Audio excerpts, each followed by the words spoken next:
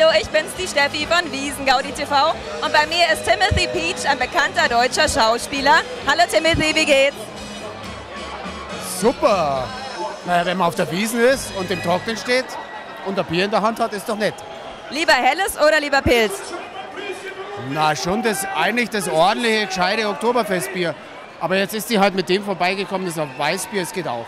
Soll ja unglaublich gesund sein, Hefeweißbier, und ist ja äh, sogar ein besserer äh, Mineralträger als äh, alle Mineraldrinks, die es überhaupt gibt. Ja, man sagt, Alkoholfrei sein. man sagt sogar, es ist isotonisch. Was machst du denn, um dich auf die Wiesen vorzubereiten? Trainierst du so ein bisschen oder brauchst du das nicht? Ja, also ich glaube, die, äh, die, ähm, die Ausdauer, das Ausdauertraining verdoppelt sich, um sozusagen die ganzen Kalorien, die man sich nachts da so reinschaufelt und reintrinkt, wieder abzuarbeiten.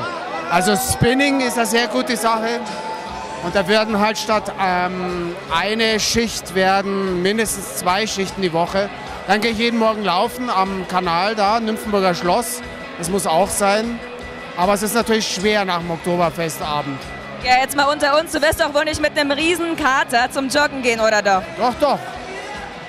Aber da habe ich halt meinen Rollator dabei, dann geht das schon. Ist, Brillant, es gibt einen Rollator zum Joggen oder hast du so einen alten Kinderwagen? das ist ein Rollator mit Elektroantrieb, der zieht mich sozusagen. Moment da sind noch drei Liter Wasser dabei mit so einem Schlauch. Weißt du, und dann, Brillant, aber weißt du, eigentlich müssten wir golfen gehen. Das wäre eigentlich genau dasselbe. na, Golfen ist ja nichts für mich. Noch nicht. Also gib mir noch zehn Jahre, dann sind die Kinder durch und dann kann ich mich ums Golfen kümmern. Aber Ja, aber weißt du, der Schwung, der muss eigentlich schon früh antrainiert werden. Du solltest lieber jetzt anfangen. ja, ich habe den Schwung schon ein paar Mal trainiert. Das ist sauschwer. Finde ich. Also, Sag mal, ich habe vorher gehört, du hast ja auch einen britischen Ausweis. Das stimmt, oder? ja, ja. Nein, ich bin eigentlich exklusiver Engländer. Also ich bin eigentlich nur Brite. Achso, dann hast du doch nicht zwei Ausweise. Ich habe gar keinen deutschen Ausweis, nein, nein. Das lag daran, dass ich damals, als, als ich noch jung war, da warst du ja noch gar nicht auf der Welt. Was? Schon möglich. so ein alter Sack bin ich schon.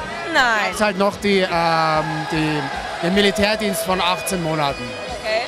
Und ich als ähm, Engländer wurde da einfach äh, nicht genommen, weil ich so ein Ausländer bin. Weißt? Das ist ja Diskriminierung. Ja, Gott sei Dank.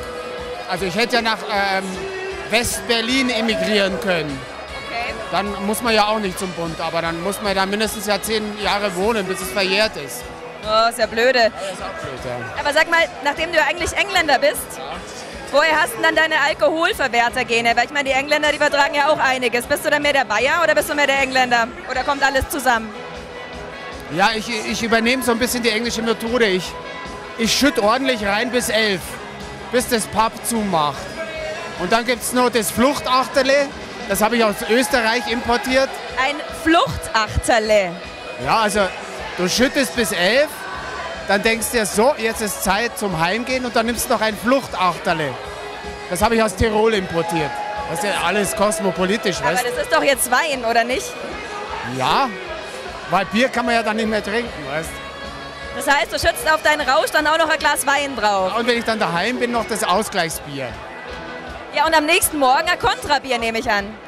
Müsste man, aber ich nehme äh, zwei Liter Wasser. Und ein Aspirin. Na, das bringt, glaube ich, na, so Chemie stehe ich nicht drauf. Na, na. Da kommt schon so eine alte... Brühe. Ach Gott, der Aspirin, das ist doch schön. Das riecht einen doch auf. Nee, also. Und der Ibuprofen dazu. Jetzt machen wir noch ein bisschen Schleichwerbung. Sauber. Alle Schmerzmittel führen wir jetzt auf. Na, na. Na, Gemüsebrühe ist das Beste. Und Ingwer-Zitrone-Tee. Mit, mit Minze und Honig. Okay, jetzt erzählst du mal noch ein bisschen was über deine neuesten Projekte. Steht gerade irgendwas Neues an bei dir? Neuer Film?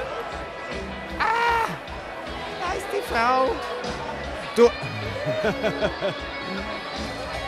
Na, ich habe ja jetzt eineinhalb Jahre durchgehackelt ähm, und habe jetzt gerade noch in Italien einen schönen Film zu Ende gebracht.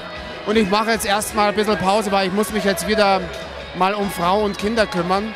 Und ich weiß, dass es nächstes Jahr im Frühjahr schon wieder mit dem Theater losgeht. Und bis dahin lasse ich es mal ruhig angehen. Also ich habe heute mit der Agentur telefoniert, sind noch ein paar schöne Projekte so im Angebotskorb. Aber wenn es nichts wird, dann mache ich auch gerne mal wieder Pause, weil zwischendurch muss man auch wieder auftanken. Völlig richtig, die Wiesen ist super anstrengend. Eine Frage habe ich noch an dich. Wie ist es denn für dich, wenn du in eine Tracht reinschlüpfst? Verändert dich das irgendwie? Bedeutet dir die Tracht was? Also ich bin ja, ich bin ja ein diplomierter Heimatfilmdarsteller, also äh, meine komplette Tracht kommt eigentlich vom Film. Ähm, insofern habe ich das schon total ausgelebt. Also ich war schon in der Tiroler Schützengilde, ich war auf Bauernhochzeiten äh, und ich habe ja ganz viele Filme richtig derb bayerisch gespielt und ich habe schon zwei Komödienstadel hinter mir und ich bin ja ähm, Löwengruben erprobt. Also ich habe da alles durch und insofern ist die Tracht für mich ganz normal. So. Okay, super. Das war der Timothy Peach genau. für Wiesengaudi TV. Grüß euch. Ciao.